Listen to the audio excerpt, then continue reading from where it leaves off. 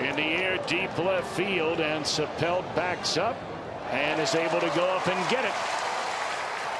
The lead just did miss it. And a good thing for Sappelt, Bailey, and the Red. Nice play by Dave Sappelt right here. I didn't think he got a whole lot of this. It looks like he got it in on him a little bit. Of course, heavy air tonight. Maybe the ball not carrying as well as it normally does. But Dave Sappelt goes right against the wall, leaps high to get that bad boy, and brings it right on back. Nice play by the Reds left fielder.